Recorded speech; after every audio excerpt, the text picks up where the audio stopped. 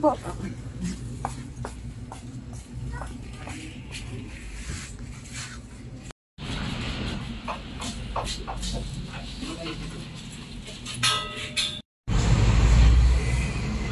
Ayan at ah, nagbabalik po ang ating Alfonso na may tenga at ah, bumili ulit tayo.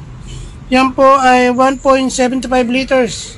Marami na po naghahanap. Kaya naman bumili ulit tayo. Tapos yan, kumuha tayo ng isang sakong asukal kay Dali. Kada pack ay 42 pesos per pack.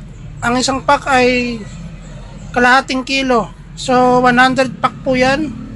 Lumalabas na 50 kilos po. At ang binayaran natin ay 4,200. Tapos nagdagdag tayo ng tatlong 1.5. Dalawang Sprite at saka isang Coke. Meron pa tayong apat na 1.5 doon at uh, paubos na rin yan mga ilang araw lang.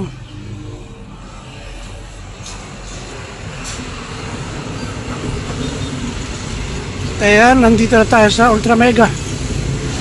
At uh, kakapasok lang ni Mrs. At tayo naman ay susunod na.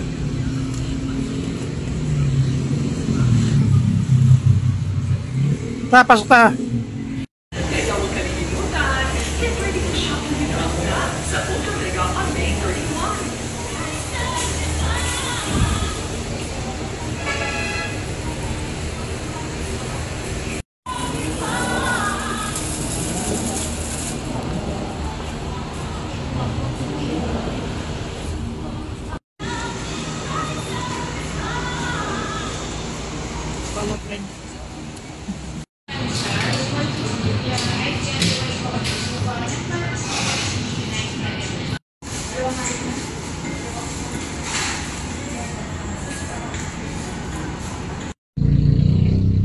Kaya at uh, nandito na tayo sa tindahan at uh, ayan oh, jump pack po at uh, maraming nabili na naman.